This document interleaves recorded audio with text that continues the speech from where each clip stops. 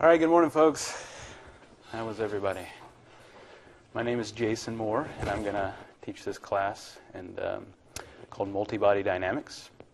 And um, in a minute, if you don't know what exactly that is, I'll try to ex- explain some. But uh, looks like we've got maybe more than sign 1, 2, 3, 4, 5, 6, 7, 8, 9, 10, 11, 12. No, that's about right. Um, well, welcome. Um, raise your hand if you're a new grad student. You just start?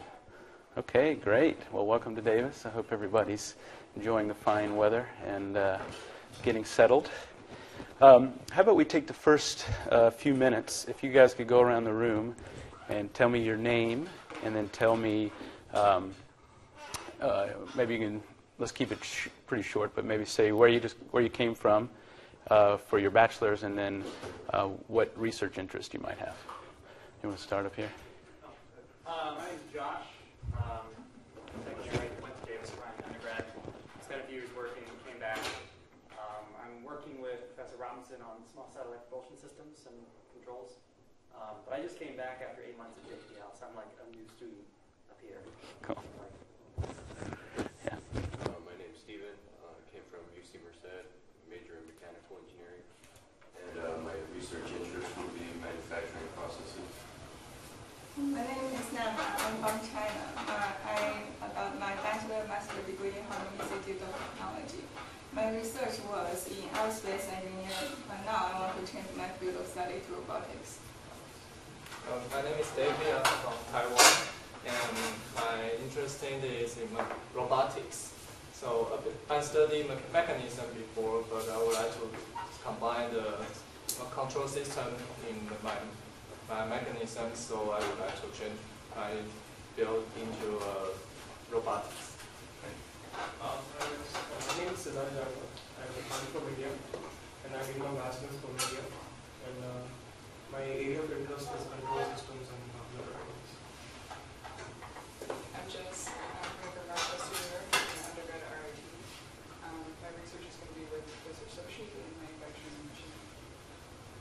I'm Ruben. I'm from Sri Lanka. I did my undergrads in mechanical engineering and then did my master's in uh, biomechanics in San Antonio, UT San Antonio. And uh, here my research interest is mostly going to be fluids. So, I am Scott. I did my undergrad here at UC Davis in mechanical engineering, and my research interests are human biomechanics. I'm Thomas. I'm from Virginia. I did my undergrad at University of Virginia in mechanical engineering. Um, I'm a first year graduate student in biomedical engineering here, and my research interest is in motion biomechanics. Virginia here too.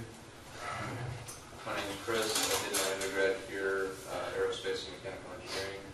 Uh, and my interest in research is, or my interest for research is uh, aerospace structures. Uh, my name is Michael. I did my undergraduate at uh, Loyola Marymount University in Los Angeles. And uh, as a mechanical engineer, uh, my research interests are fluids and uh, structures. I guess. I'm Nick. Uh, I did my bachelor's at the University of Idaho, and my research interests are controls and solid mechanics. Okay, well, welcome. All kinds of wide breadth of things there, and I think that what you're going to learn in here will touch on a lot, a lot of those um, topics that you mentioned. Um, and I hope you guys get to know each other well too, and uh, we'll work together on uh, all the all the homeworks and things that we're going to have here, um, and, and et cetera. Okay. So let me just spend a few minutes um, saying like a little bit about well, first I'll tell you who I am a little, and then we'll talk about biomechanics. But I'm a Virginian, like I just mentioned. Um, I got my mechanical engineering degree, and then worked at NASA for one year, and then ended up coming out here, and I got my MS and PhD at Davis. And I also spent a year in the Netherlands.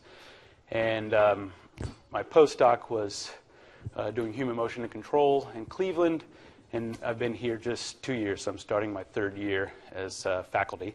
I'm a teaching faculty, so I teach more than I do research. Um, it's a new position that was introduced into the College of Engineering two years ago, and we have one in each department right now. So I primarily am doing undergraduate classes, but um, this is my first grad class that I've got, got to teach in the position. I'm excited about it because this is one of my favorite topics. Um, my PI, Hub, Mont Hubbard, who is an emeritus professor now here at, at Davis, he is who I learned uh, this from. So 11 years ago, I was sitting right here in your shoes, um, wondering what the heck am I doing? Not, you know, oh, I'm just going to do an MS. I'm not going to do a PhD.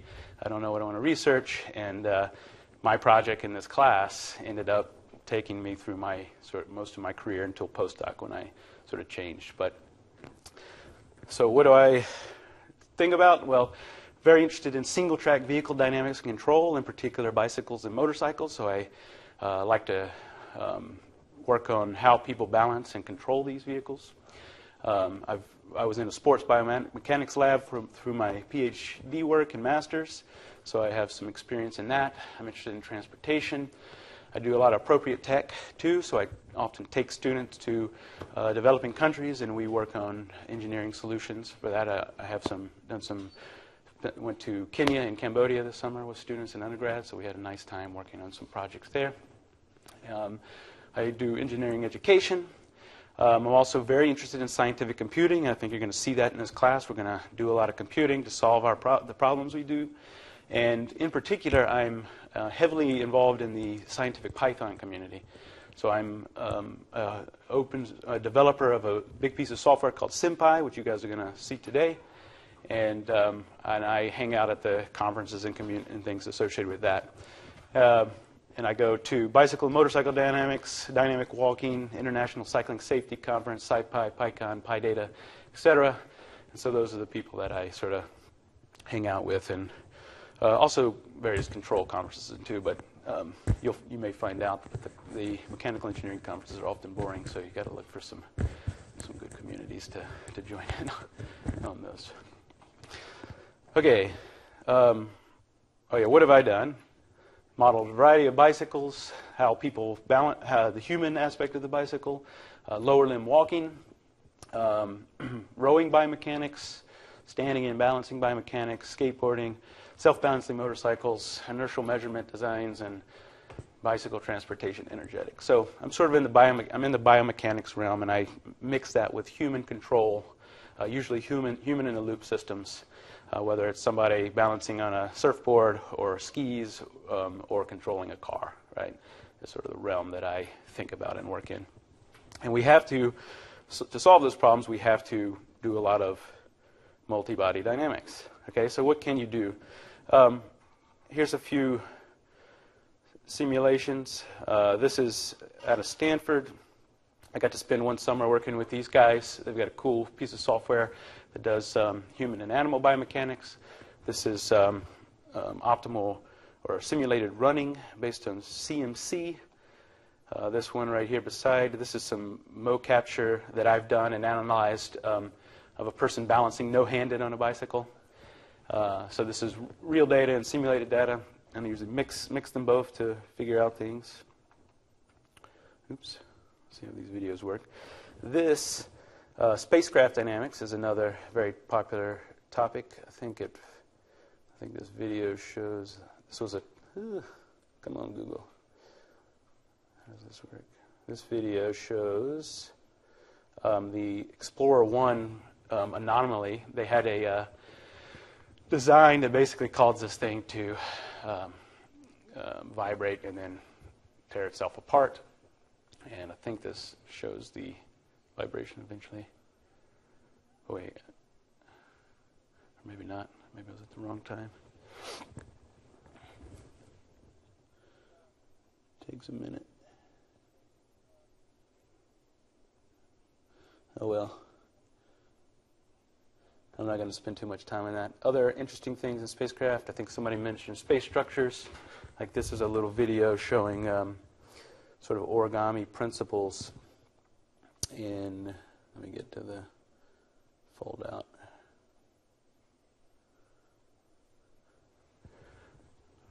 All right, so multi-body dynamics models can help you figure out how to get all these pieces of the puzzle working together and uh, not break things and open properly. I've got uh, robotics. I heard a few people with that. Here's the uh, latest generation of the Atlas from Boston Dynamics. You've probably seen these videos. So these guys have very nice multi-body dynamic models to uh, help them when they're developing all the control algorithms. And the video on the right, if they, if they play at the same time, they do.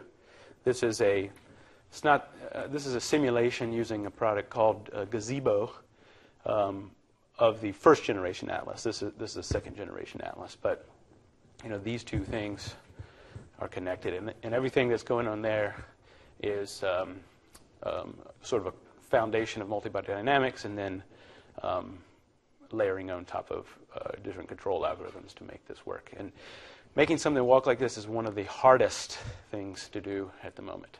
So if you want to jump in on research that needs to be tackled, these guys are pretty much the only people that have demonstrated this robustness in walking, um, but they don't publish anything. So nobody knows how they do it. And, uh, and they're sort of a step ahead of the academic community in terms of walking. Uh, so we, we need to expose more on that. So I, I work on some walking control. My postdoc was uh, trying to learn from humans walking to derive control al- algorithms that we could put in the robots. Right? Um, sports biomechanics, like I mentioned, I worked with uh, this guy on the left and when I was at Stanford one summer, and um, he did some nice uh, simulations of optimal baseball pitches using OpenSim. And then on the right is uh, sort of more uh, data driven mocap for doing a long jump. And I think, I'm going to drag it around. Where's the jump? There we go. So I've done a lot of motion capture work, you know, collecting data and trying to either make models that do the same prediction. The screen is horribly dark, huh? Can't really see much. And then, what do we got here? Vehicle dynamics. Um, I'll just play these. This is a fun little um, bicycle robot. And then on the right, a um, car suspension model showing the uh, forces in actuation as you're turning. So working with vehicles, I've done a lot of vehicle work there too. Um, molecular dynamics, I'm not super familiar, but um, protein folding and molecular dynamics, right? So if you're in the biomed world, there are a lot of interesting things there too that um, are still governed by Newton's laws and, and multi-body dynamic principles, along with some other biological principles. So um, maybe that gives you a flavor of some of the kind of things that you can do there. And uh, how do I get out? There we go. I also collect a bunch of fun gifts, and uh, and we'll probably revisit some of these. But um, for example, this is um, a fun little uh, outer space thing. Oh no, that's not the one I wanted. that is that is one, but. Uh, what I wanted to show was here's maybe a better spacecraft one, the yo-yo satellite stabilization. So when you launch the satellite up and it's spinning like crazy, how do you stop it from spinning if you're in outer space? And notice that this shoots out a yo-yo that sort of um, uh, balances out the momentum and eventually stabilizes the air- aircraft there. So this this kind of stuff, multi-body dynamics, and I wanted to show. Okay, this. This is a fun little one. Um, this is also outer space. This is in the ISS, but you know, why the heck does that thing do that? You know, um, it's not something you, you see on the planet Earth, but uh, you spin that bad boy and it has this reversal, right?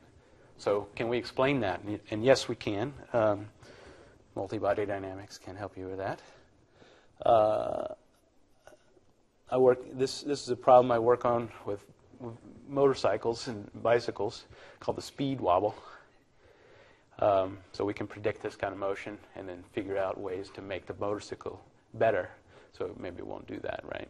And this cuts it off before the crash happens, which typically is what happens when you get in that bad of a speed wobble. Uh, let's see. A few other I'll show the rattleback. Right, working on car suspension, very popular. So we can analyze all of that suspension mechanisms and try to design a vehicle that can do this. Uh, this is another fun one. Here's Neil deGrasse Tyson. Um, got a, he's got this thing. It's just a symmetric looking, elliptical looking thing. He spins it, it stops, and then reverses. Any idea why that might happen? Has anybody seen that before? It's called the rattleback. It's just a toy. Uh, it's typically used as a toy. There's not much else to do with it, but watch it do this. Um, but for some reason, it reverses. And uh, multi-body dynamics can tell us why. Okay.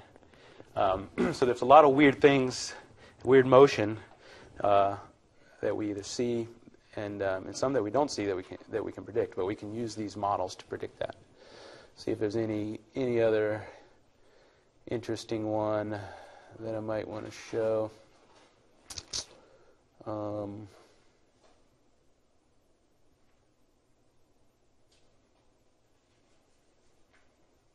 let's call that that it. So, what do you think? Any questions on sort of what what maybe the possibilities are, or um, does this sound? Is this what you thought it, would, it was multi-body dynamics might be, or nobody wants to speak? Talk to me, grad class. We can we can chat. What was the most interesting thing?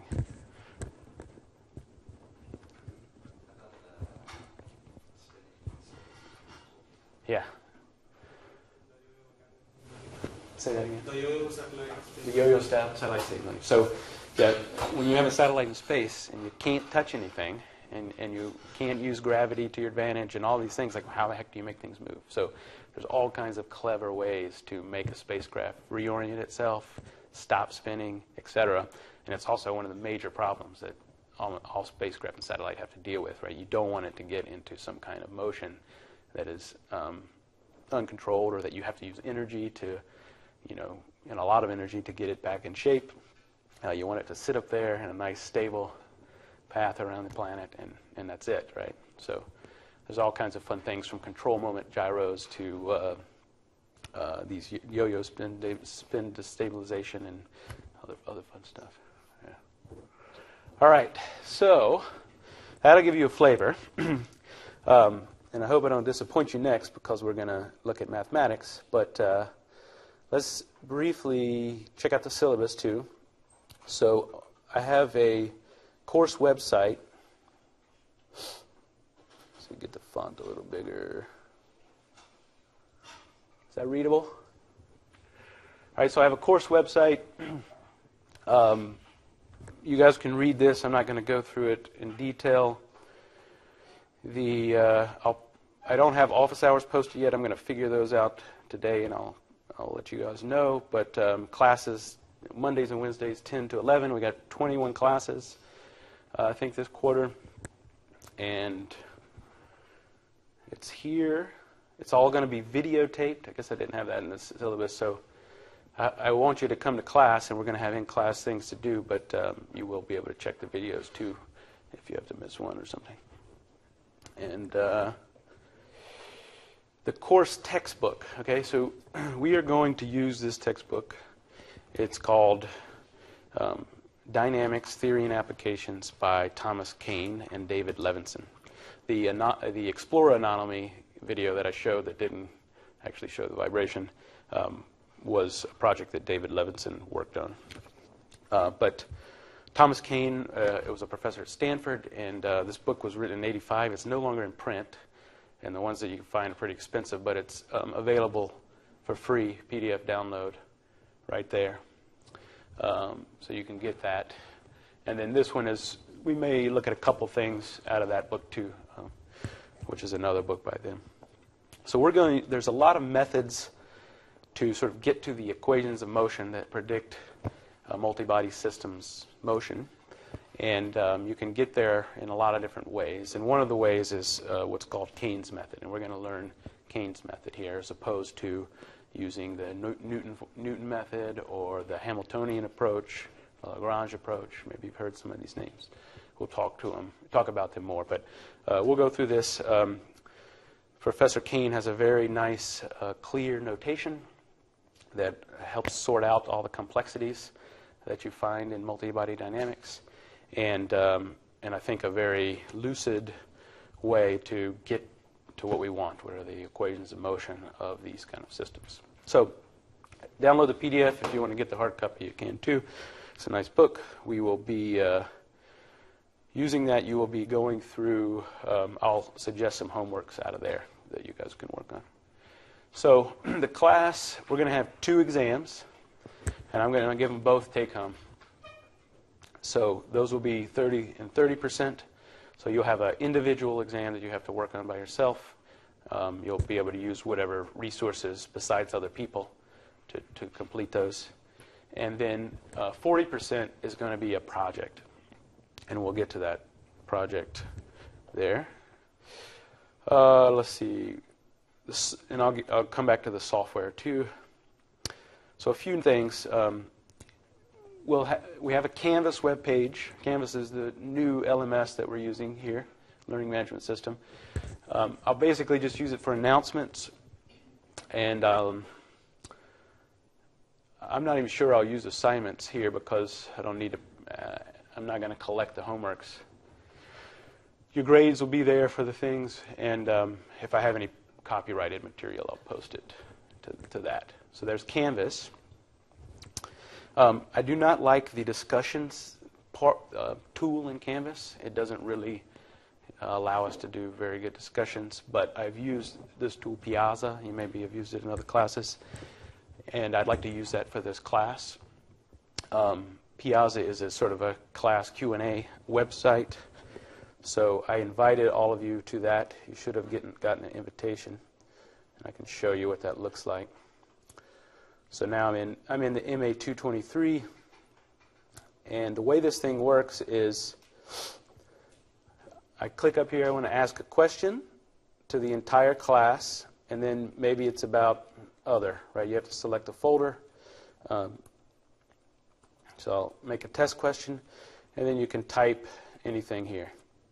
But the other nice thing, uh, we will be doing a, lot, a lot of some coding in this class, a lot of coding, and you can um, also do code. So if I, I think, click this code block and I type A equals 5, B equals 6, A plus B, right, it'll syntax highlight your code automatically and um, make that relatively easy to read. The other nice thing, which we'll also be using in this class, is mathematics. And if you click, uh, I think if you just do um, it's either one or two, but let me just try one. And then if I um, do LaTeX notation here, how many people are familiar with LaTeX math notation? A few? Okay, so we're going to learn some of that. So if I, there's sort of a lightweight markup language, like I can do something like square root of 5. Let's see if that, how does this work? Forgot how the math works.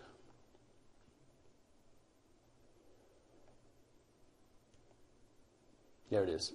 So I think actually, instead of typing it directly there, you type it, you click this button, and it looks like you can click buttons, but you also can just do, you can just type it, which I find to be faster. Uh,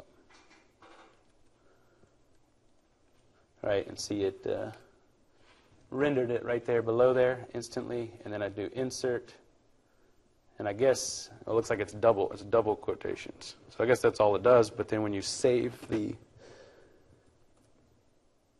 when I post it, then it looks like math. All right.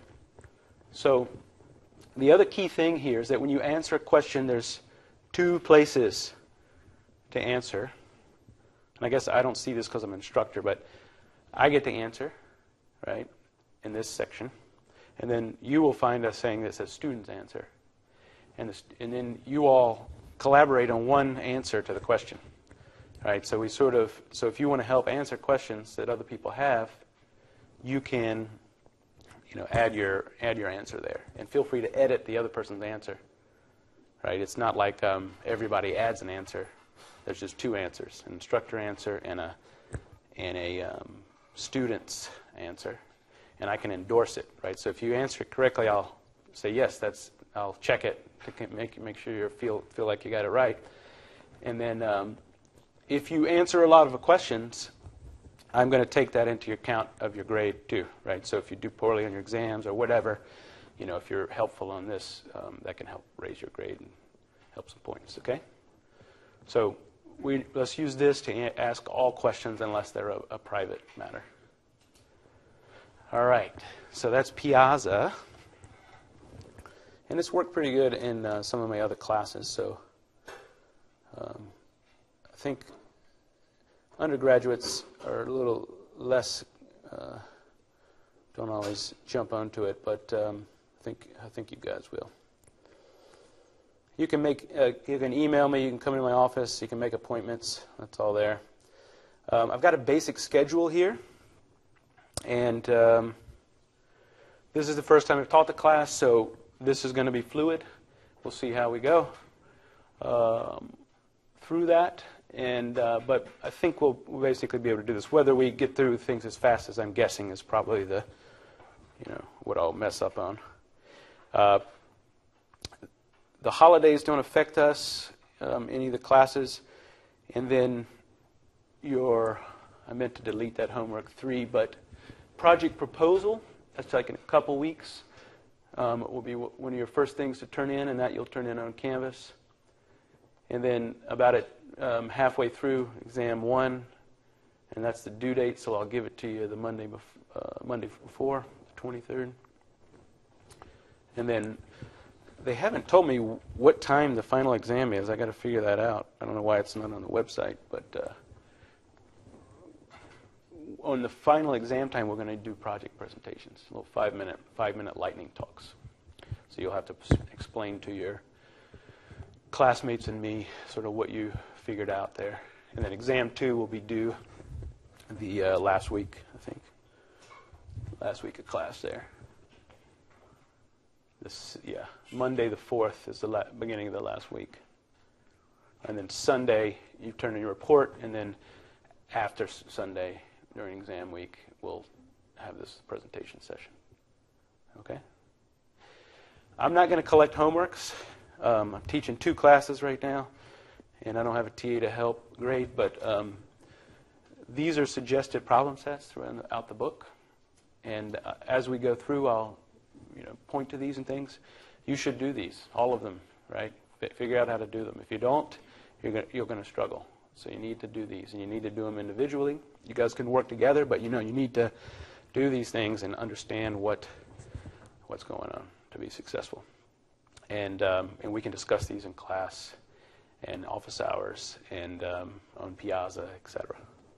Okay, but it's going to be up to you to do that do that work yourself, right? Do, doing it yourself is the only way to learn this this stuff. You can stand up here and listen. I mean, me blabbing at you is not going to stick. You got to do it. Okay. Um, software. We're going to show you that today.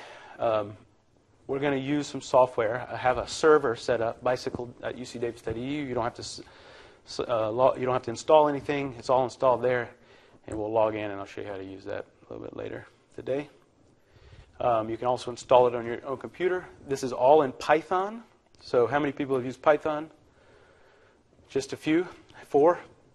Python is supposedly one of the easiest languages to learn. Uh, that's why it's becoming the most popular language uh, in the world. And uh, he's laughing. but um, if you're familiar with how many people have used MATLAB? Everybody, good. C? Fortran? One, all right. Nice. Um, if you're comfortable with MATLAB, I think you will uh, be able to jump in here reasonably well. I have, uh, did I not put that link there? Under the documentation, there's a NumPy for MATLAB users, and I'll add that. I thought I did add that. That will help uh, some of that transition. But um, we're going to go through it slowly. Every time I introduce a new thing, I'll tell you what, what it is, and um, I think we'll have it won't be too too bad. But it is a new language. There are a lot of details. You're going to hit a bunch of you know errors and not know what they are. Um, but uh, this uh, StackOverflow.com will become your best friend too, and the Piazza site with uh, your fellow students. Uh, but you can ask questions and look at people's answers on those. All right? So, and I guess um, maybe I could say one thing. Why why am I doing this in Pat? Uh, anybody know why I'm doing this with Python and not MATLAB? Chris. Open source and free. That's one language. Uh, one reason. So, Python is an open source language. Uh, none of this will cost you a dime the rest of your life. Any other ideas? Yeah, I'm, uh, I'm actually a Linux user, so, uh, but it runs on all systems, um, all, all, all operating systems it runs, and that's one of the nice things about uh, Python is that you can do eh, write one piece of code that runs on all of them. But it is it's uh, the, the inventors of it probably were more Linux users than other things. But um, any other ideas? So I said one. One, it's um, one of the easiest languages to learn, and it's expressive. But the cool thing is, is there's this huge community of people that are now doing all their science with Python. And uh, actually, Stack Overflow just uh, posted this thing. Let's see if I can find it. Uh, Stack Overflow, Python growth. Yeah, right here. This was posted September 6th, and Stack Overflow is a question and answer site for all for all programming languages. and the top languages are listed here: C++, PHP, C Sharp, JavaScript, Python. And, we, and this trajectory is like going going insane compared to the others. And uh, the whole data science communities are picking picking this up. The uh, sort of the new the machine learning, all of these sort of um, cool new tools are, are coming out with Python APIs so that you can write with them. So I believe that it's um, um, it is the future, and that uh, the fact that it's sort of open and builds these communi- this uh, community, we see this kind of growth, and um, and the trajectory does not look like it's it's you know going to dip anytime soon. So I've been using it for 10 years now to solve all of my research problems, and um, um, and very much prefer it, and uh, and so that's reason two, right? It's just one of my things that I like, and I'm a part of this part of this community. So I hope you all enjoy it, and uh, it will be a benefit to your careers and futures. Last bit here um, is the project. Each of you will do an individual project. You can pick anything in the world you want uh, that you want to analyze using the tools that we learn in this class. And um, I'll help you choose that. You should come talk to me soon as you start to think about what you might want to do because we, I can help you try to pick a good scope. So it's not going to be too hard to solve or uh, too simple. Okay, so we want to try to get something that's sort of a right scope for the class. So be sure to come and talk with me about that project. But basically, what you're going to do is pick some kind of system that you want to investigate. You're going to write the equations of motion for it. You know, you're going to make the conceptual model, write the equations of motion for it, and then um, simulate that system and see what you can learn from it. And you're going to want to pose some kind of question by this uh, pro- project in your project proposal that you want to answer. So, I think I had a couple examples. Uh, Design an antenna deployment system for communication satellite which works in the near orbit Earth and deploys in less than 10 seconds. So that's sort of like a specification you're trying to meet, maybe for a design. Or more of a research question what are the important parameters which limit the maximum range of achievable throw of a discus and how should it be launched optimally? Right? How do I do an optimal discus, discus throw? So you're going to need to think in the next couple of weeks about what what thing, what moving collection of rigid bodies you might want to analyze, and uh, what question you might want to answer about that. And um, come talk to me, right? It's gonna critical to pick a pick a good scoped project, um, so you don't get too frustrated, or it's um, or I give you a low grade because it was too simple, right? So come talk to me. And there's the due dates. Um, and you're going to make a final report, but it's not going to be a PDF. It's going to be what's called a Jupyter notebook, and that's what I'm going to show you in a few minutes. Uh, this part of this software. I could get. I guess I could show you one. Uh, a Jupyter notebook. So here's a here's one for signal processing.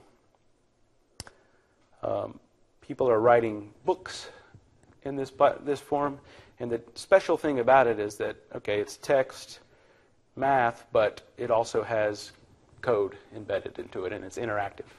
So you guys are going to learn how to do this, and um, the report I'm going to want is going to be of this form. Okay, and this is called a, a Jupyter notebook, uh, and you can execute that, create the graphs, etc. Um, all right, questions?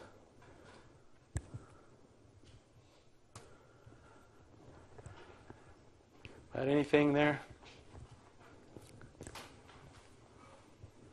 Nothing? All made sense? Everybody knows F equals MA? Yes?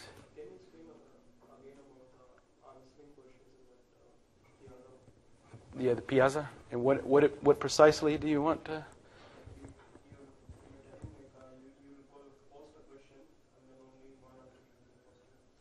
Oh, yeah, the answers. Can somebody uh, log in and answer this question? Are you guys, anybody there? Raise your hand if you're going to do that for me. Yeah? Answer that question for me, and we'll see that pop up. I say I know the answer to this question. Uh, I would type here. The answer is foo. And then I would submit that as the instructor, and you would see that answer. And then, what was your name in the back? Will? I don't know if I remember that. Or Nate? I don't know. I'm going to make up names.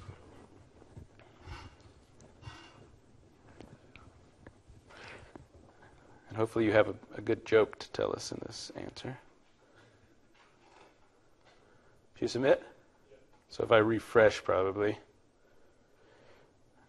the student's answer. Right? And I, as the instructor, I could even edit that too for to help you guys. But you all can hit this edit button too and help out. What was your name again? Nick. Help out Nick. So maybe Nick didn't quite have the math right. You can help him. Chris.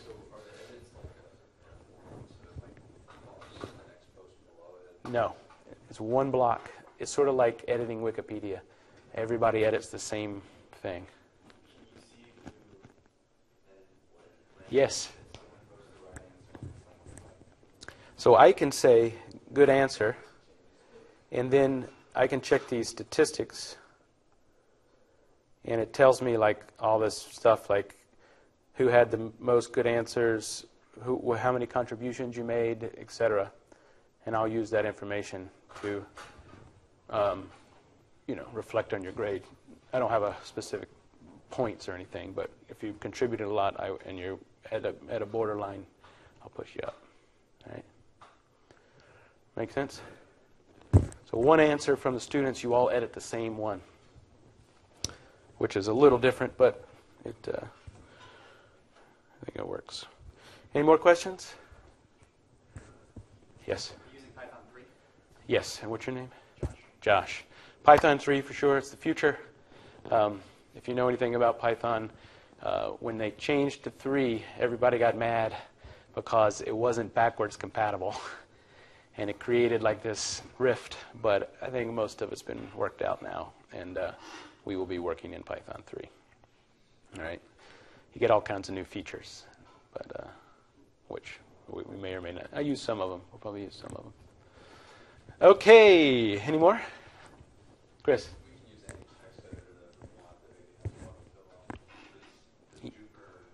I'll show you in a bit. Um, you can always download on your computer and use whatever you want, and then turn in the uh, notebook that you use from your computer. So, and I'll make I'll I'll get the instructions clear on that. I need to add one more bit on installing one piece of software, but uh, you can use whatever you want there.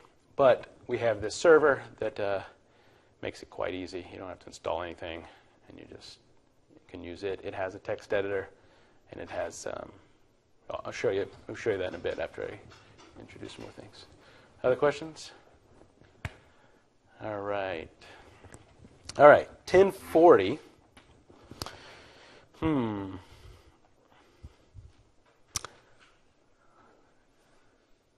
Let's go ahead and do. Did I show you everything I wanted?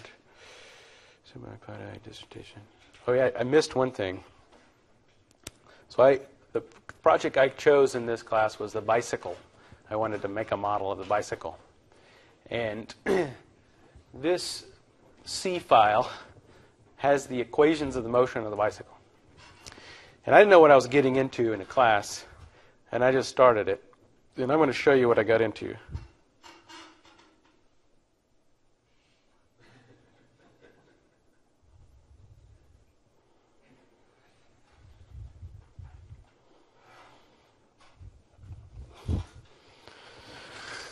All right.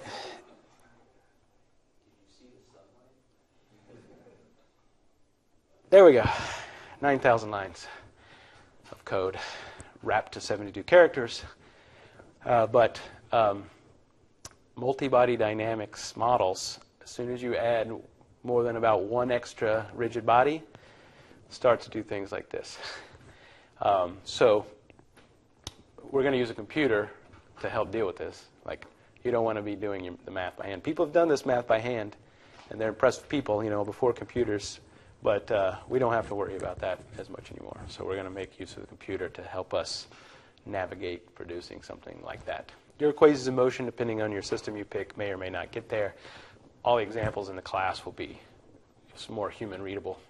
But uh, you might pick a project that, that has uh, that ends up like this. but anyways, that's um, just to give you a little flavor. And let's switch over to this.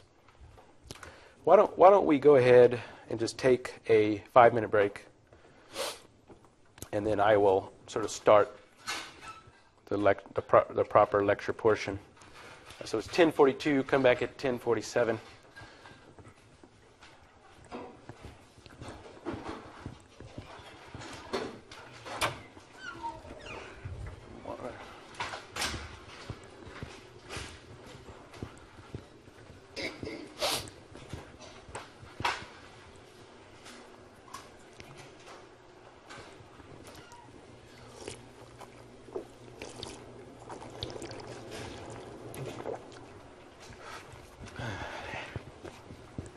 Scott, are we going to meet Friday or something? I think we should. Uh, I was gonna send your email this morning. Uh, trying to. where we go from here? All right. Yeah. We, let's.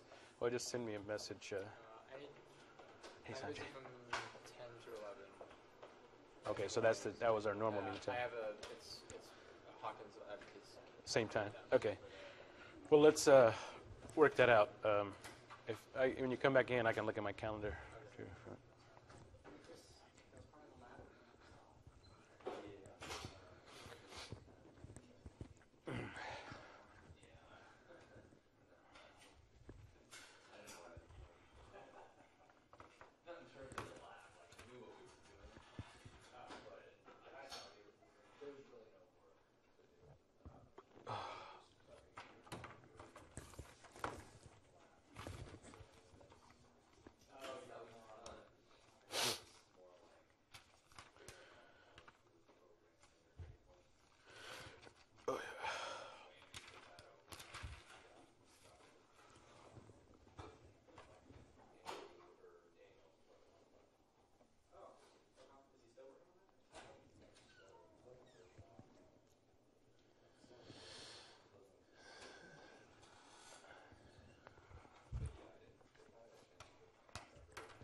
Do you want to? You Friday is preferable. Yeah, anytime on Friday.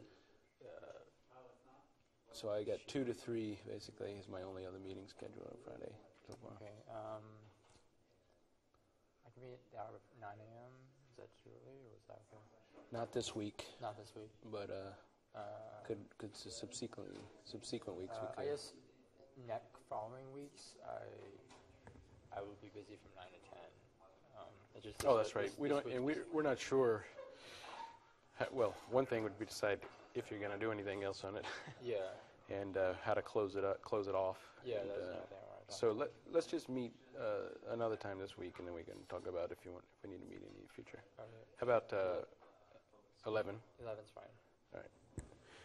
All right, so just, let's chat 11 Monday, we'll see sort of what the state and what you might want to do or not do, and then, uh, what's up, and your name? So, uh, my name is Michael. Say it again? Uh, Michael. Michael. I'm not registered in this class here yet, Okay. so I'm gonna register for it. Um, to ask you, so it's just a question. Um, are most of the notes gonna be on the computer, or are there gonna be a lot of handwritten notes?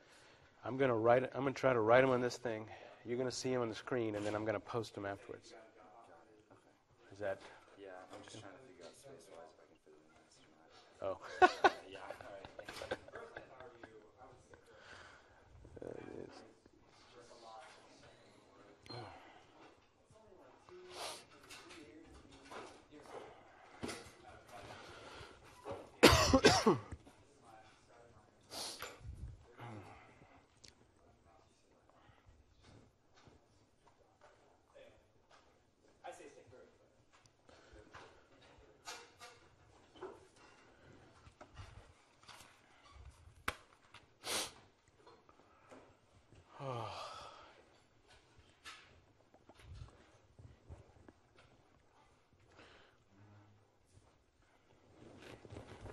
How many people are going to drop after seeing the intro?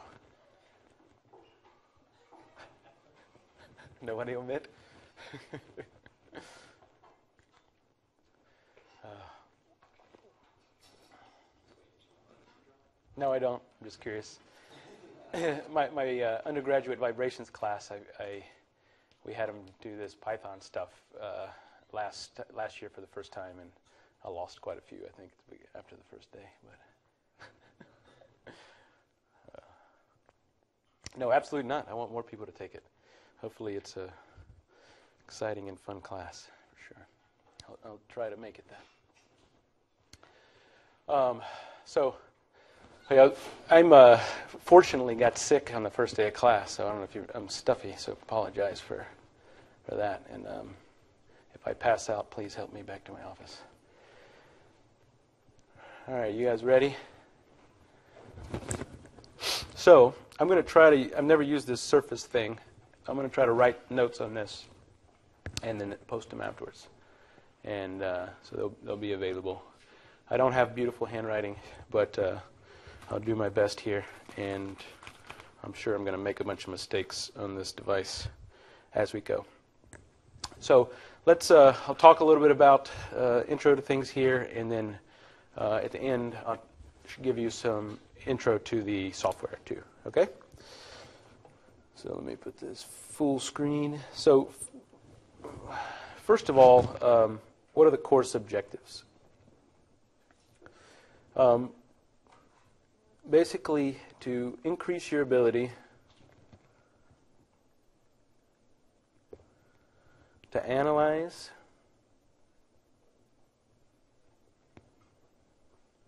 and that means write and solve equations of motion. We'll use that abbreviation for equations of motion for complex multi-body systems.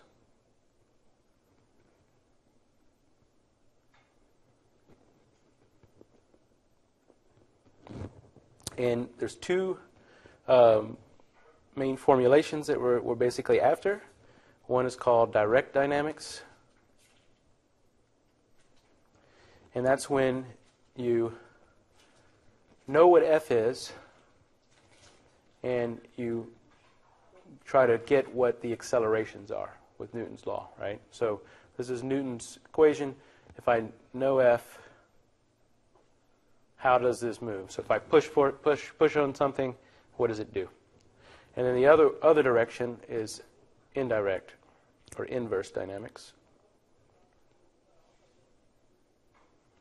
And that's when you know the acceleration. Uh, some of those motion capture things that I show, right? We measure the motion, and we might be concerned, well, how much force is in somebody's knee when they do a jump? So we get MA, and then we look for F. So inverse and um, direct dynamics and inverse dynamics. And so we'll be able to formulate both of those in this class. There's three facets to this solution.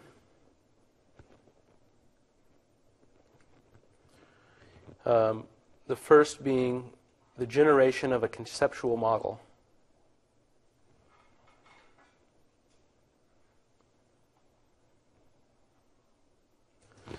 Right? And this is one of the very hard parts, like looking at a real system and trying to make a simplified mathematical model for that system is no simple task. Right? So that's and the second step is then um, the use of your principles of mechanics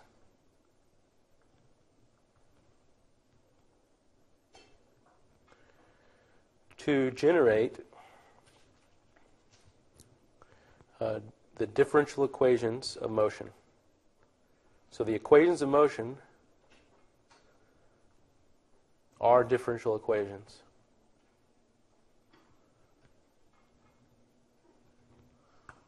That.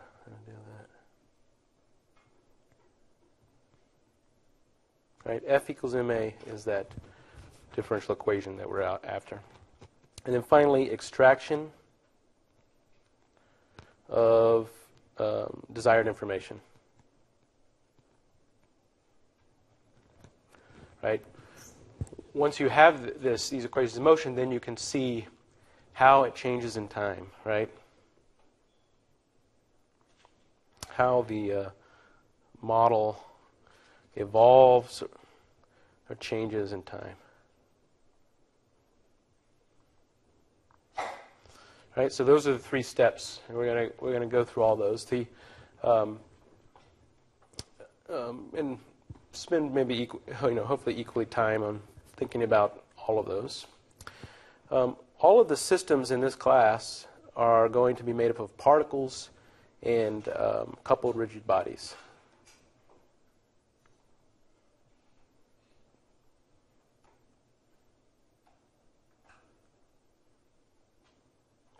So particles and coupled rigid bodies. We're not going to deal with any flexible bodies per se in this class, but um, you can get a long ways um, with rigid bodies to describe the motion of things. So no deformable. And just to define what a particle is, the particle is an object with mass, uh, but no dimensions.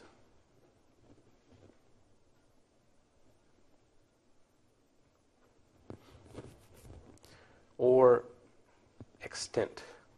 Okay, so it's infinitesimally small point mass. Okay, and then a rigid body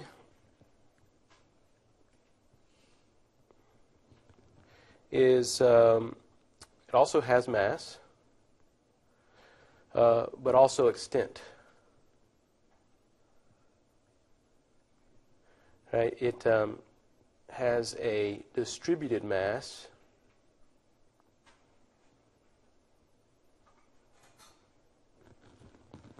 Right? So a rigid body um, has mass that's spread out in space and, and uh, takes up more than an infinitesimal point and uh, has some specific distribution of how that mass might be heavier on one side or lighter than the other.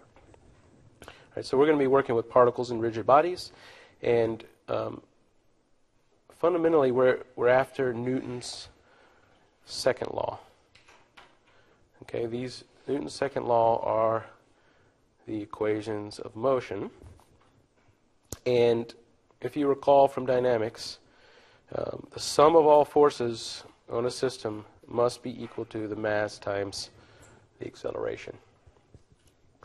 Okay, so this is sort of Newton's portion there, and uh, this describes linear motion.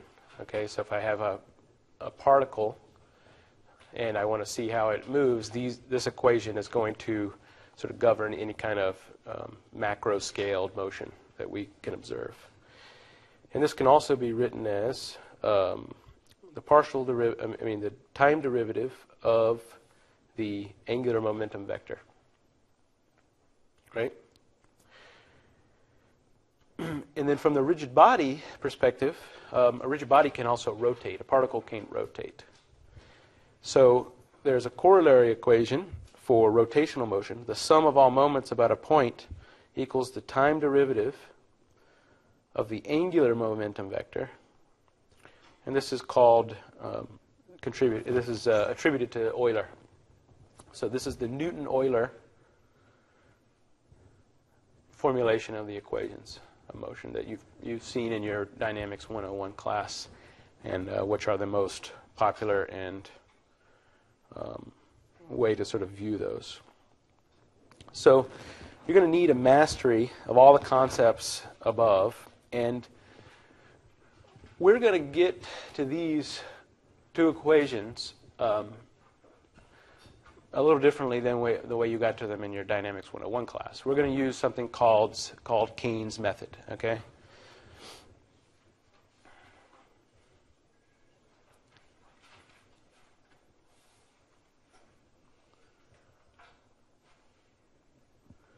And that's what's spelled out in this in the book that we'll use, and um, it has a lot of advantages and, and, maybe some disadvantages too. And we'll talk about those as we move forward.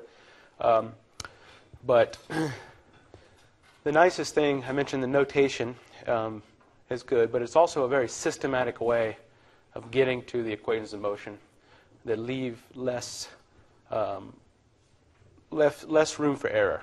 I think. So it's a nice, it's a nice method. And it, um, and as we move forward, I'll tell you about some of the other other advantages there. All right. So to do this, though, we still have to work with vectors.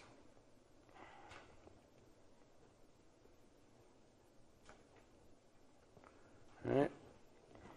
So vectors are what we're going to use to describe the location particles and points in, in 3D space, um, and also um, to describe the magnitude and direction of uh, angular motions. Right? So vectors are going to be our core thing. We're going to have to do a lot of vector formulation and vector calculus to ultimately get to those two equations of motion. And I noticed I had a bar over top of F, A, M, and H. Right, all of those are vector quantities. So we're going to have to if you're rusty on your vectors, you're going to have to get up to speed on those. We'll go through them here, though, too, but um, a few things about that. So, um, vectors have three characteristics.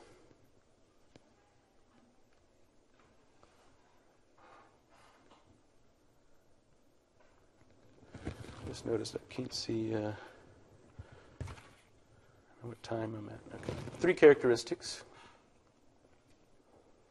Uh, Anybody know what those are? What makes a vector a vector? Magnitude.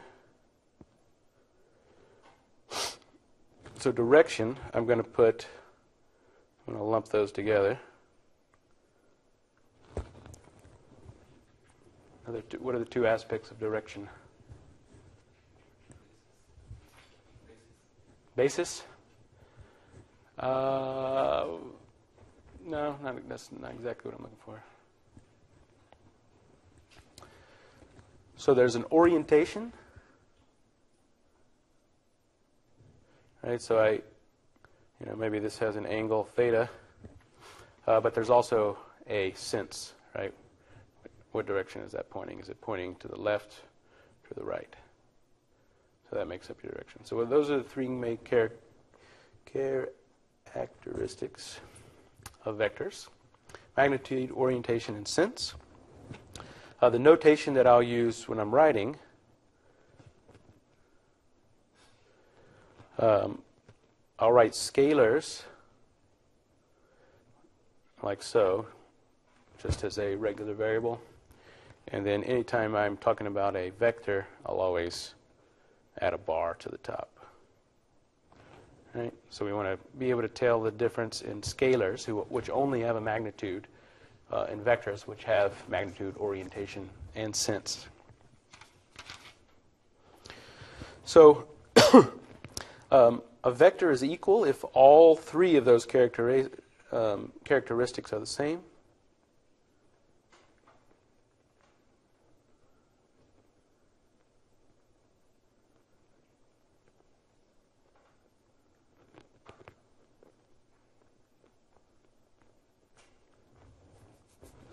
Um, and there's different rules that you might remember too about how to work with vectors. Okay, so there's the product of a scalar and a vector. So if I have vector b can be equal to some scalar times vector a, and the uh, orientation and of A and B are the same. But the scalar could change the magnitude and the sense of that. Right? So we can scalar multiply vectors, um, and that scalar will affect the sense and the, or, and the magnitude. There's also some a special vector called a unit vector. And a unit vector has a magnitude equal to 1. So if some vector n has a magnitude equal to 1,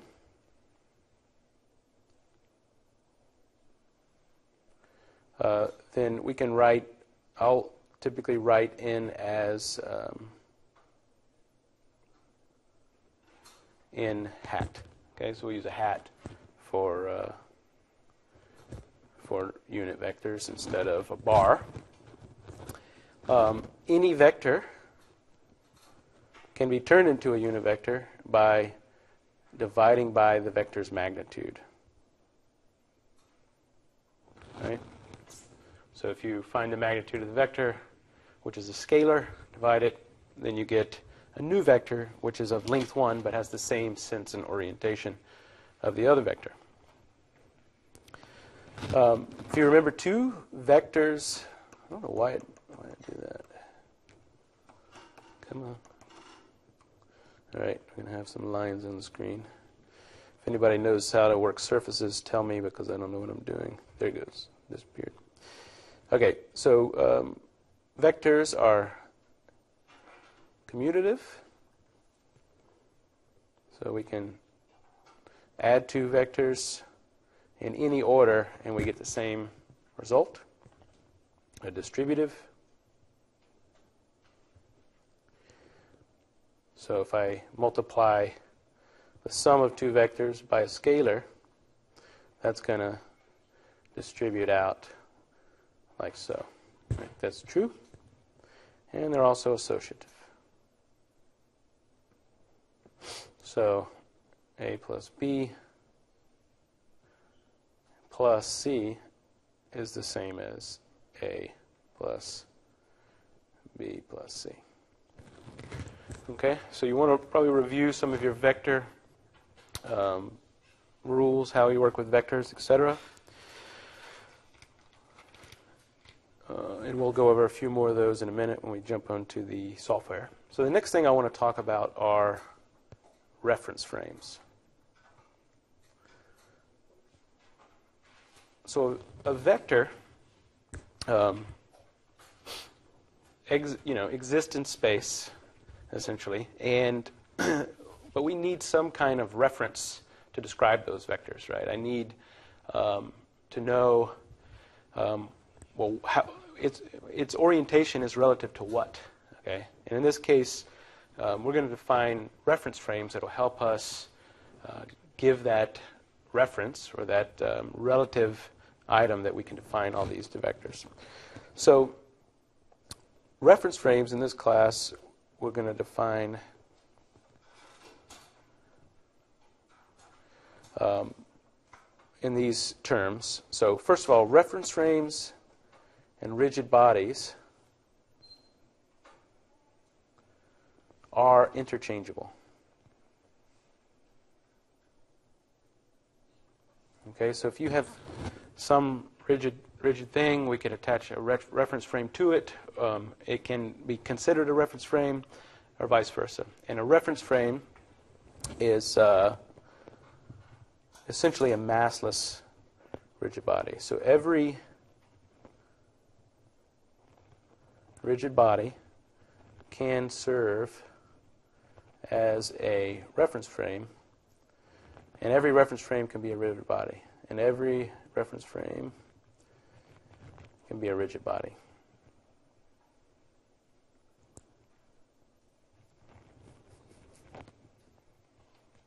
Right, so they're going to be interchangeable. Uh, one has mass and inertia, and the other one um, is, is massless. Okay, and here's one more key thing. A reference frame is not a coordinate system.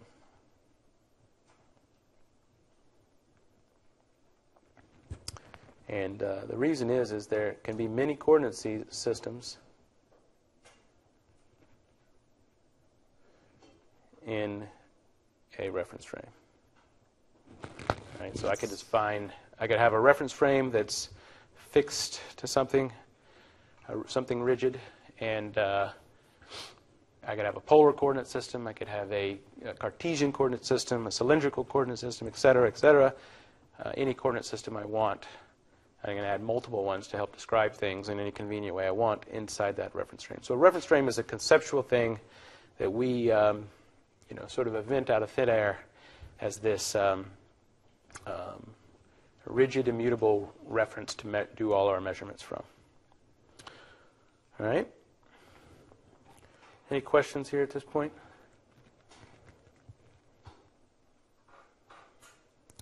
All right, so there's reference frames. Let's uh, now, I want to ask a question here then. Um, how is a vector a function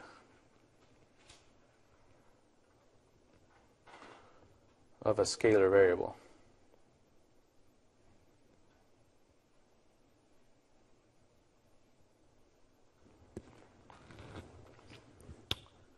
Okay, and this is going to be an important concept. Um, our, our vectors are all going to be defined in terms of a reference frame and some scalar va- variables. Those are the two, two aspects that we'll use to help define our vectors. And so a vector omega, for example, is a vector function of a scalar variable q in a reference frame A if when Q changes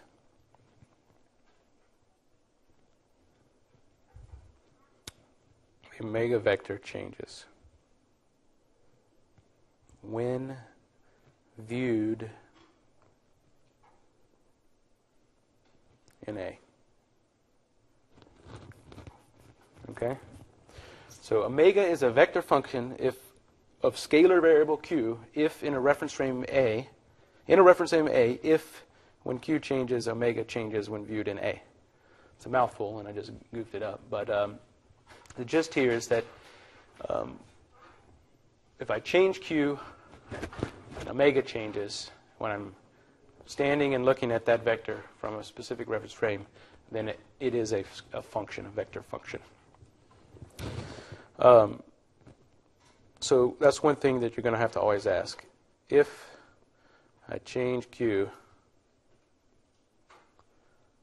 does omega change? You're going to have to be aware, too, of what reference frame that you are thinking about that in, because um, it is true that in some reference frames, things may not look like they're changing, but standing in another reference frame, it may look like it's changing. And that's, uh, for example, if I'm on a train, right, and I throw a baseball inside the train, towards the back of the train, when it's going this way, at the exact same velocity that the train's going, you standing outside of the train will not see the ball moving. It'll stand still. Okay?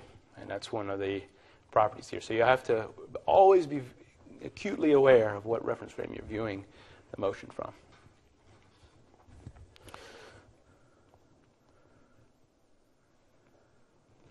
Okay. So let's look at a little example here.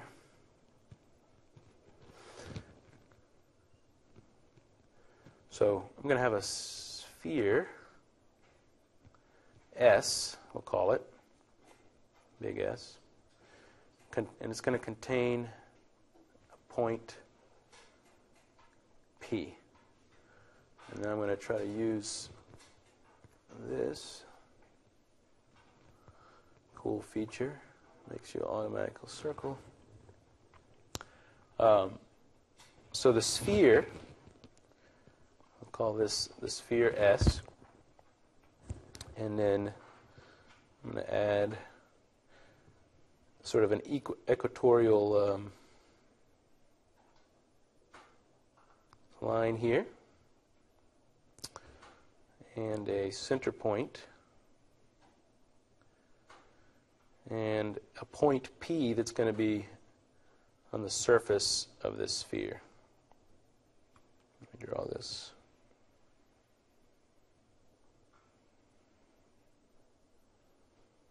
Okay.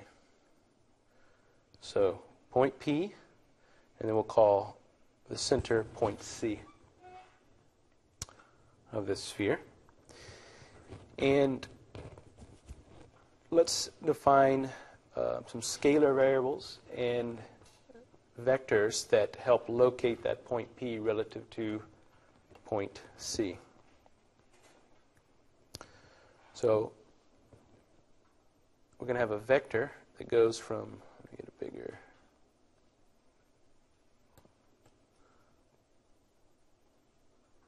C to P,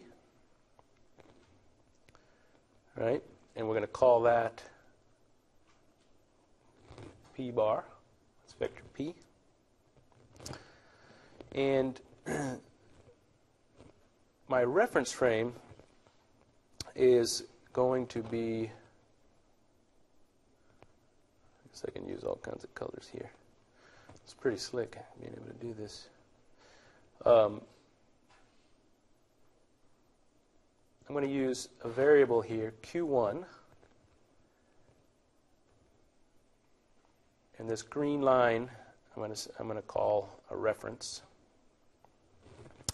But if I rotate q1 over, this vector now lies in this um, plane that slices through the sphere. And, and then I'll also rotate up through Q2. So if I started the vector down where the green line is and then rotate it through Q1 and up through Q2, um, that's going to orient that vector uh, right there towards P. And then the length of this vector um, is the just the radius of the sphere. Okay, so the points on the surface of the sphere. So, one question here then I have all the pieces that I want for now. Yep. Let's add. Uh, let's ask one question: Is p bar a vector function of q1, q2, and s?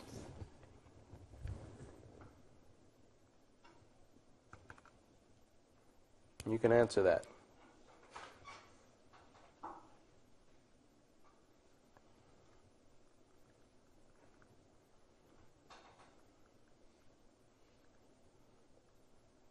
reference frame S. Chris?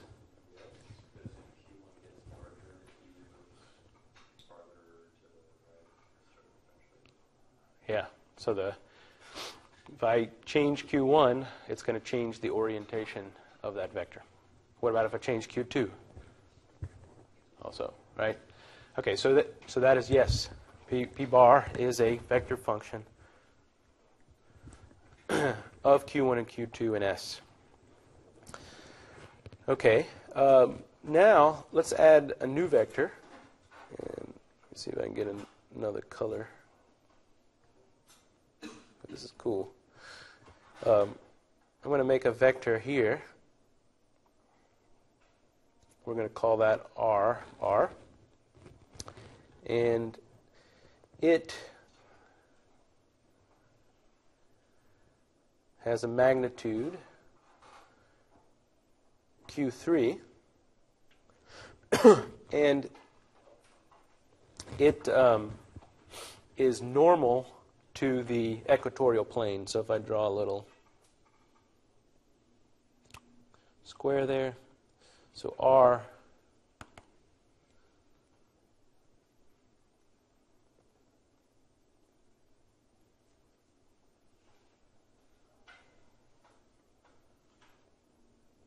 R is normal to the equatorial plane. 6 straight up has a magnitude of Q3. So I'm to leave that there. Uh, question 2 Is P bar a function of Q3?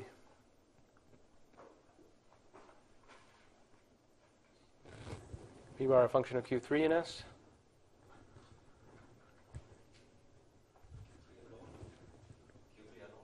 Q3 alone? Not, right? I can change Q3. P is not going to change with if I'm standing in S uh, looking at those. Uh, question three is Q bar uh, a vector function of Q1, Q2, Q3 in S?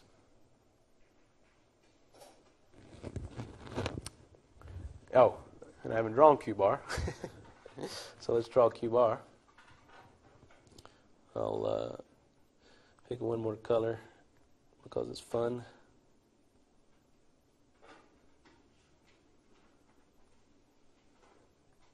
Q bar is the vector that points from the tip of R to the tip of P. So is Q a vector function of Q1, Q2, and Q3 and S?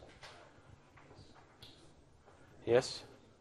Yes, it is. So if I adjust any one of those, it's going to change Q, um, the orientation of Q, and even the uh, magnitude of Q, right, could change. Correct?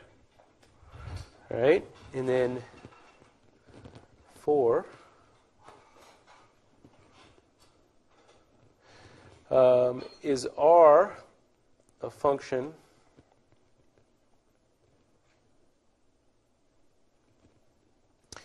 of Q3 in S?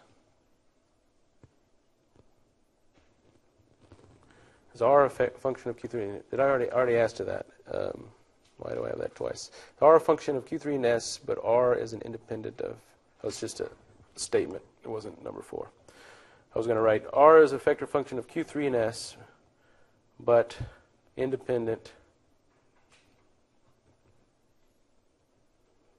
of Q1 and Q2 in S. All right. So you can say if a, if a vector isn't a function of a scalar variable, you can say that it's independent. And that's really bad handwriting.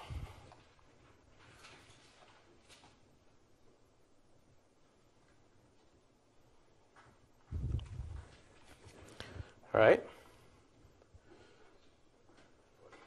Any questions there? Chris?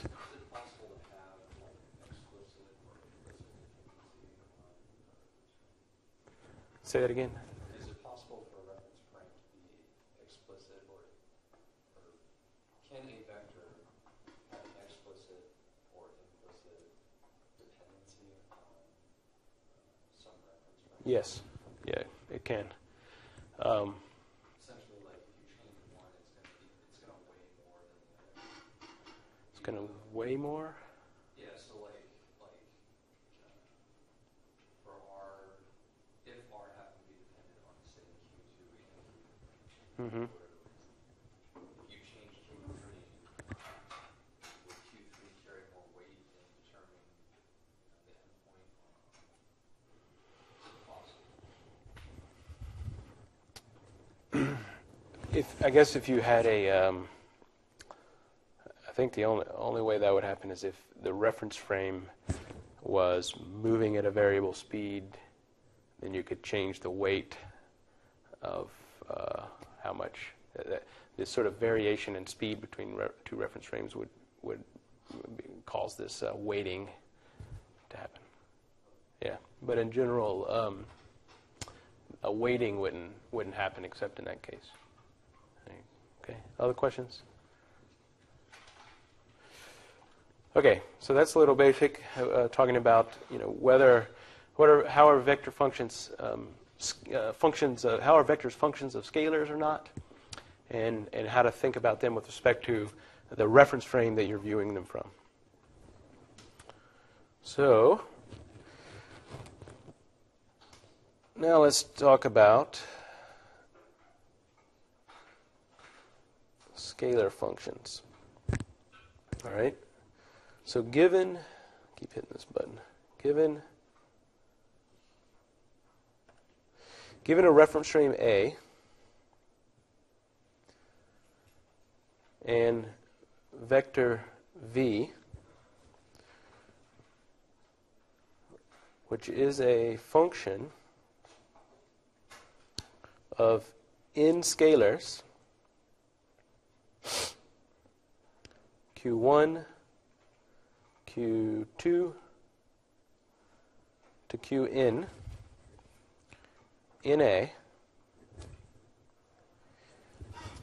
we can def- now define some unit vectors associated with A. So let A1 hat, A2 hat, and A3 hat be a set of non-parallel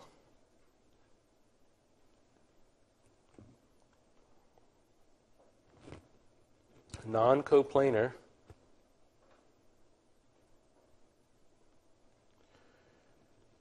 unit vectors fixed in reference frame A. Okay, so these um, vectors do not change magnitude, orientation, or sense when viewed from A. All right, so we're going to find these these vectors that are non-parallel, non-coplanar, and do not do not move with respect to the reference frame A. Right, and to restate that, A1, A2, and A3 are constant with respect to A. Right? Okay, if that's true, then there are three unique scalar functions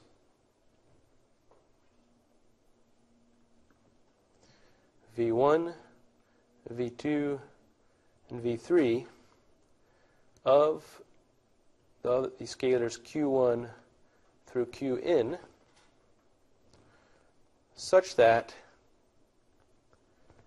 v bar, vector v bar, any given vector, is, can be written as such. v1 times a1 hat plus v2 times a2 hat plus v3 times a3 hat. Okay, so any vector can then be expressed as these scalar functions v v's multiplied by these co- non-coplanar, non non-parallel uh, unit vectors that are fixed in A. And so this, any given one of these, is called a component of the vector v bar. Right? It's the A1 component, in this case, of vector v bar. And these coefficients, these scalar function coefficients, um, is a, call them a measure number. The measure number of A3 in, measure number of A3 in vector V bar. Right? So these are these unit vectors. Each one of them make up a component of V. There's only three needed, and then a measure number, three for the for three-dimensional space, and a measure number of A3, um, or a measure number are the scalar function coefficients V1, V2, and V3. of that.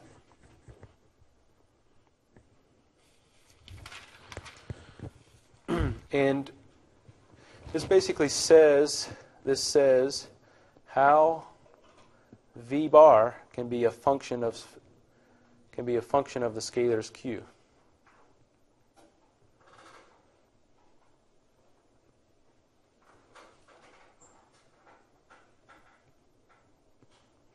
qi in A, and it's only through these measure numbers that that is true. Only through the measure numbers.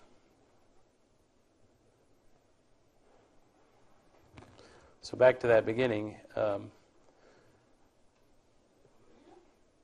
given a reference from A and a vector v bar, which is a function of n scalars,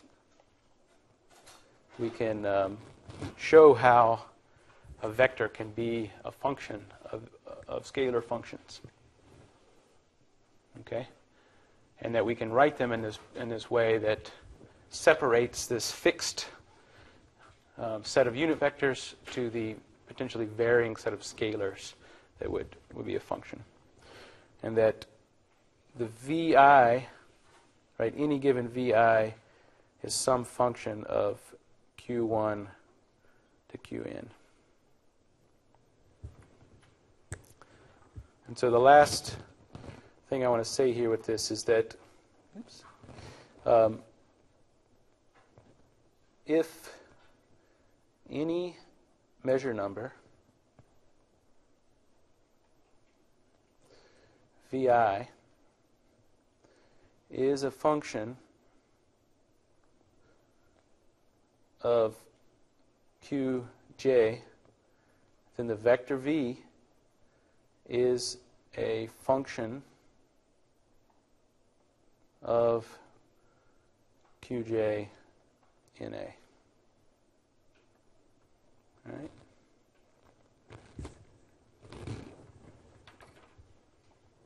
Questions here? So this is the basic notation that we're going to see and write vectors in, right? This measure number, unit vector, measure number, unit vector, measure number, unit vector. And that fully describes a um, vector function in the variables q, any number of variables q, um, with respect to viewing it from the reference frame A, from one given reference frame.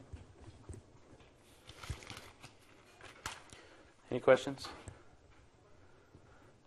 All right. So, if you got your laptop, open up your laptop, um, and just to remind you, I would like you all. I'll. Um, I'm not quite sure. I think we'll want to use our laptop some portion of every class.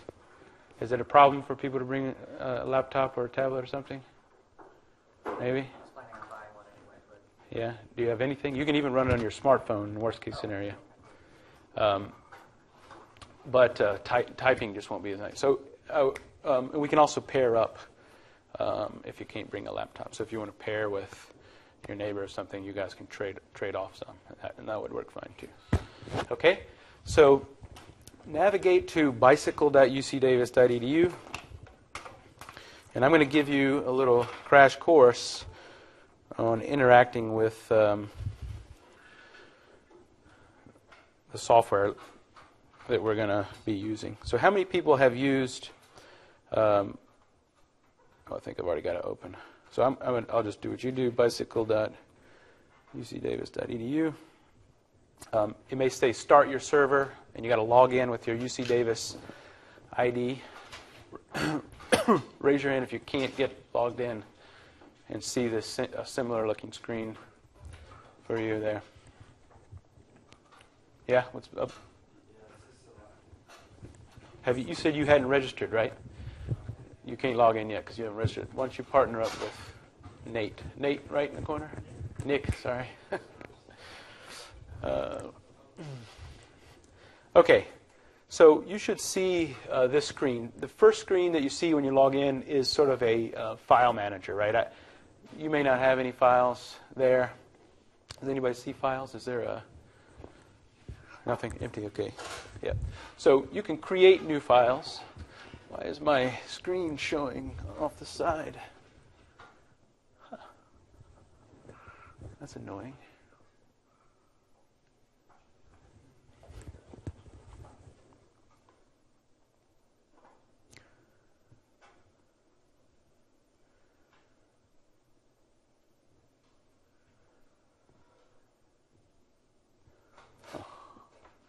All right, well, I will try to drag it over so you can see the whole thing there.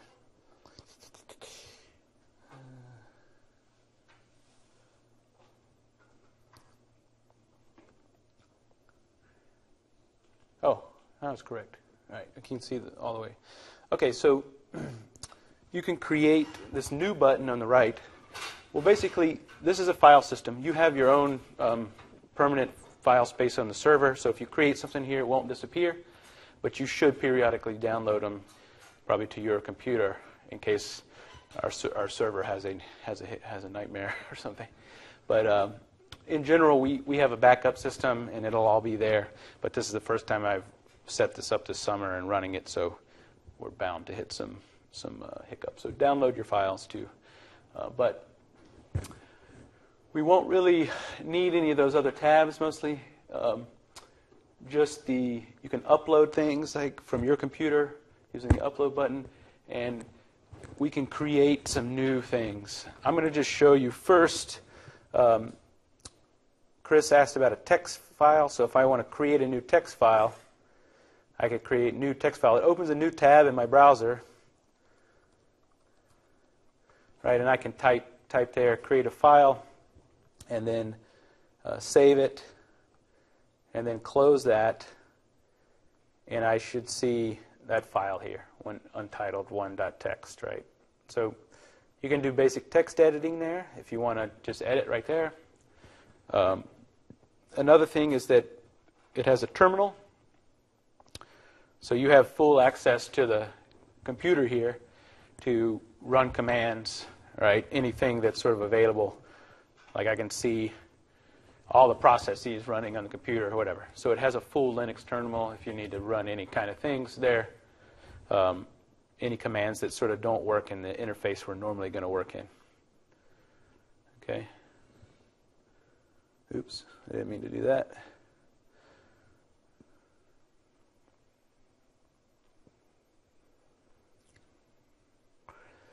Um,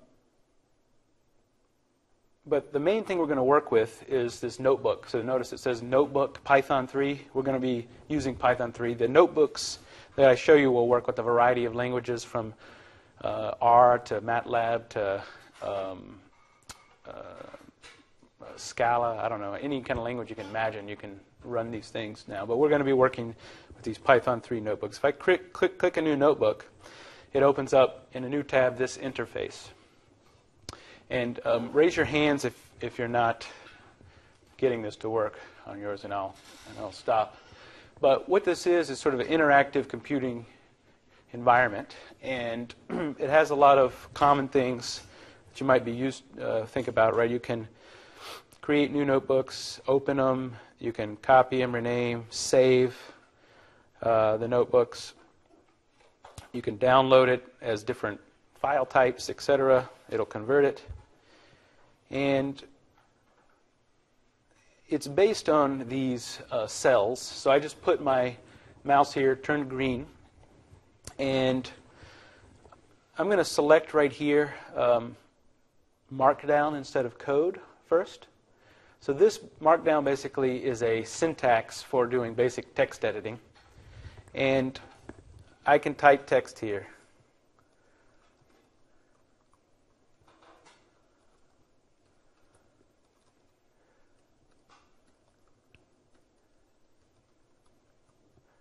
Right? And then it even has fun things like math. Um, right, I can do this latex latex typing again. With two things, and if I hit Shift Enter instead of Enter, it executes that cell. And when I typed in text in that, that sort of lightweight markup language, it converted everything to a nice readable form. And you can even do things, so I can go back to that cell, click it. If I double click it, I'm back into edit mode, and I can do things like uh, maybe I want an image. Let's go to Wikipedia, find an image. Angela Merkel. Angela Merkel, we'll get her. Um, let me just get the, uh, yeah. So this is the actual image. I'll, this is the syntax for adding an image, right? So I can, I can put all kinds of things. I can put YouTube videos. I can do whatever, whatever you want. You can type math. You can type text. This is how you're going to write your report for the class, right? So you're going to have to add, um, you know, for, use that formatting method, and it's called uh, Markdown. And if you click Help here, there's like you can look up Markdown, and it tells you here's some links to tell you like basic um, basic formatting, basic for writing and formatting of different different things, right? So it's pretty pretty easy to learn. You know, I can make a list at the bottom there too, and it converts. So this is a very light, um, lightweight markup language that you type. Okay, so that's a markdown cell, a text cell. Um, if you just wanted raw text, you can also select, I think, raw, and then uh, Shift Enter just makes it plain text too. But the markdown is nice because it's a little prettier and easier to read. Um, the other type, the default type, is this code code cell, and we can also execute live code right here in the in the in the notebook. So, for example, it's set on code. If I type some Python commands now and Shift Enter, I just created a variable A1, and it's thinking for some reason. It had a little star there, and when it's done, it'll turn to a number. And then if I execute A, right, I, I stored 1 in the variable A, typed A, I get 1 out. All right, so that's sort of the process. You can execute commands. Um, I can, uh, I don't know, do what do I want to do with Python? The uh, you can print things like that's a Python command to print a statement. If I spelled it right, but that's the gist. You um, shift enter to execute these cells, and if it's set on code, it actually runs the code and creates something. Okay, and we're going to see lots of interesting things that it creates in a minute. But let me just show you a few other the features here. Um, you know, you can select any of these cells, and you can copy, cut, and paste. Right. So if I copied that and then pasted it, I get another cell. Um, I can move cells around with these buttons right? Put them in different order if I want them a different order. And let's see what else is useful. Split and merge cells. So if you have two lines like A equals 1, B equals 2, and then I put my cursor in here right behind the 1 and say edit split cell, it'll break those apart. So there's basic interactions with these cells. Um, if you want to create a new cell, so say I wanted a cell above that, there's the little plus button, adds a new cell. And there are a load of keyboard shortcuts if you're a fan of keyboard shortcuts to do all those commands. So I've memorized a number of those, and I don't have to press the buttons as much anymore running this, this thing. But uh, you can check that out. Another key thing is uh, this kernel menu. And kernel is just a funny name for like the Python pro- process running in the background. Um, sometimes you want to restart that, right? If you you could uh, write some code and it just goes in an infinite loop, and you want to stop it, right? So, for example, I could um, come here and say for uh, i in range and give it a really big number. Print E, and it's going to go and go.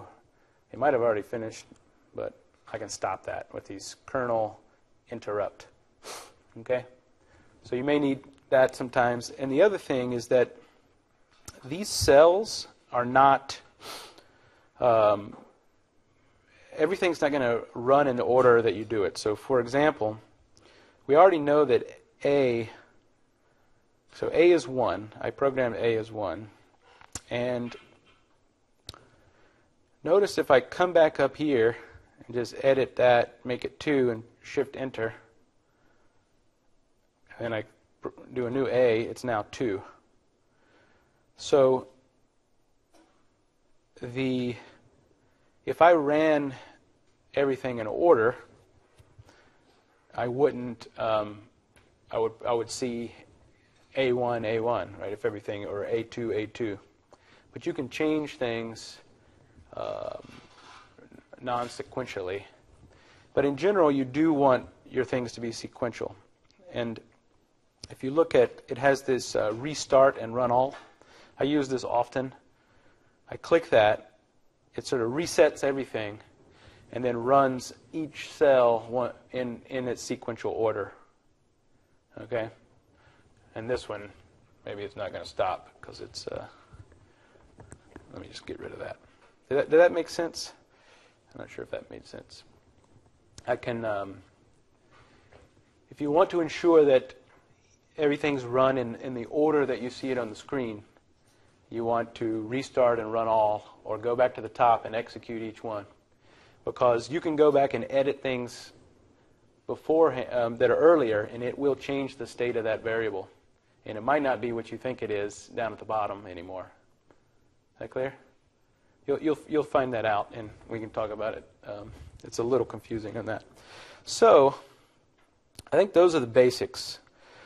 I didn't, I'm not as far as I wanted to. We only have about seven more minutes, but um, let me just show you a couple of things. We're going to use this package called SymPy. SymPy is a computer-aided algebra system. Okay, I'm a core developer on this project. About 500 people have contributed to it over the past 10 years, and it's equivalent to pro- projects like um, Mathematica, Maxima, MuPad, any kind of things where you do symbolic algebras uh, with computers. Anybody used any of those I just mentioned? Any other kind of symbolic algebra? MathCAD is another. Nobody. I was surprised. You have, yeah. Okay. Um, well, let's let me just show you what it does here to get you started. Um, my recommended homework for you is this SymPy tutorial and the documentation. Okay, to help you get up to speed on on some of this. So let's go back to here. So one thing in Python is you have to import all the packages. So I'm going to import SymPy, and I'm going to give it a short name, SM, um, and we'll I'll explain that later why why it's nice to do that. And the first thing that I want to do is I can create some symbols, and you guys can follow along with me here. So I have some symbols, and notice that when I look at that, it's a symbol instead of a number. Uh, the, ne- the next thing is um, there's a nice feature. Um, if I call this init printing function in the notebook, and then I say use LaTeX equals true, and I'm going to add one more command due to a annoying little bug that was happening last night. I'm going to say pretty print equals false. So if I execute that, notice now that the A rendered like math. You can't quite tell it here, but if I do A squared, right, I get a nice, I get mathematics out of this, okay? So A squared, oops.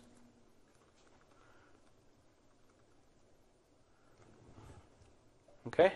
So we now have symbolic things that we can play with. And uh, SymPy has all kinds of nice functionality, like if I do a minus 2 times uh, b minus 3, I get an expression like that. And uh, I'm going to copy the cell and paste it and assign this to a variable called expression. And then I can do fun things like every, first of all, every object in Python um, has different things associated with it. And if I hit period tab, notice that there's all kinds of things. And one here we have a something we might want to expand, for example. So if I call this as a function, it will expand that mathematics for me, right? Um, I can even uh, do the same thing, expression.expand, but then factor, and it'll sort of do the first and then do the second. So E2 equals expression.expand, and then we'll show what E2 looks like. And then E2 dot factor, we get it back, okay? So SymPy has a rich uh, number. I'm not going to get into a lot of them here, but uh, all kinds of mathematical things you want to do, from solving system equations to factoring to doing integrals to doing derivatives. Um, we're going to do a lot of derivatives here because we've got to form the acceleration, which is the second derivative of the position.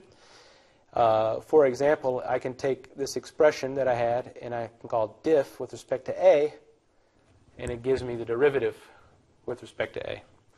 And so, um, and then if we want to look at an integral, for example, too, I can do sm sm.integral. Uh, let's do a squared with respect to a. So notice I have a capital I here. If I do sm.integrate a squared, that a, it will compute that integral as well as the uncomputed form. If I call the do it method, it will cause that thing to integrate. So you're going to learn some of these in the SymPy tutorial, how some of this stuff works. But you can do mathematics with it. Okay, that's the key thing. And we can programmatically handle this. So as the last two minutes, I'm just going to show you, and we'll, we'll go over this more Monday. Um, SymPy also has this package, which is the main thing that I've been involved in. So I'm going to write from sympy.physics.mechanics. Um, oh, no, sorry. I want to do import sympy.physics.mechanics as ME, is what I typically do. And then I'm going to create a reference frame, A. We have a reference frame object. Okay, A. And A has some unit vectors with it. And we don't use 1, 2, and 3 by default, but AX, AY, AZ. Okay, notice they render, these are vectors. The uh, type function in, in Python tells me it's a vector, right? I have a, embedded deep into this package. I am a, I'm a vector. All right, so that is our unit vectors that we can start to build vector expressions from. So now I can say a, which is a scalar, times a dot x plus b times a dot y plus c times a dot z, and have a look at that. And now I've got a vector much like I just showed you on paper. Okay? Um, vectors have all kinds of things that you can imagine. If I do v dot, right? I've got different things. Magnitude, there's the magnitude of that vector, right? So it squares each of the each of the measure numbers and takes the square root of them to give the magnitude of that vector. Is what we expect. I can also normalize it to create a unit vector. Right? So now, if I divide each of the measure numbers by the magnitude of that vector, now I have a unit vector in the same sense and orientation as the vector v. Right? Um, there's other things, right? I can dot product v dot v, and I get the dot expected dot product, right? The dot product is measure number one times the measure number of the other vector. Da da da add them all together. You get a scalar. Okay? So we have sort of a, this just gives you a real quick taste, and um, I'd like you to go through just to get a feeling of the SymPy tutorial over the weekend, over the rest of the week and the weekend. Um, and we'll, we'll come back to more and learn more about the vector operations. But um, getting a feel of typing and seeing how some of this works um, should be your, your first task. Okay? But that is the basic um, tool we're going to use, and it's going to map closely to how I'm, I'm going to teach on the paper too. And we're going to use this to do all the heavy lifting in the math because I'm sick. You saw how many cosines I had to write to get the bicycle. I'm sick of writing cosines, and I'm sick of taking derivatives. But we're going to we're to let this handle that, right? We'll have to do some derivatives and things by hand to, you know, make sure that this is correct. But uh, we want to talk about the dynamics more and not get bogged down in the calculus and, and algebra. So we're going to use this tool to do that. Okay? And then there's a whole other pieces of the puzzle here. Uh, we will um, get to take this through forming the equations of motion, uh, doing the simulation, and then even uh, visualizing the motion of systems that we analyze. All righty. Is that, uh, that clock's not right. Am I right? I'm right on time here, right? Two minutes late. Okay,